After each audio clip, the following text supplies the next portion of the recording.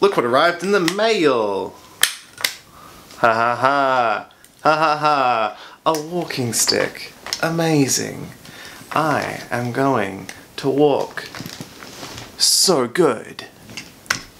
And also maybe defend myself. No, this is foldable. This will break very easily. It is cheap.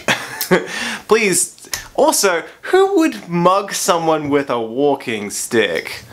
Unfair. Unfair in a fight.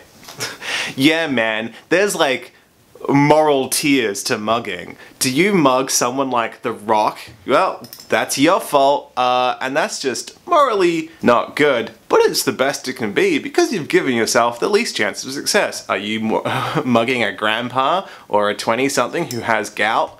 What the heck, man? Bad. Morally, uh, bottom tier, you know? Nah, awful.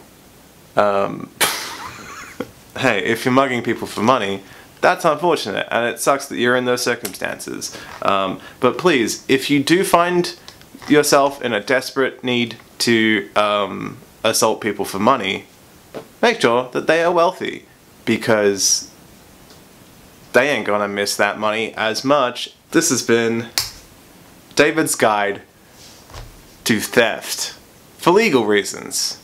This is a joke. Anyway, goodbye YouTube.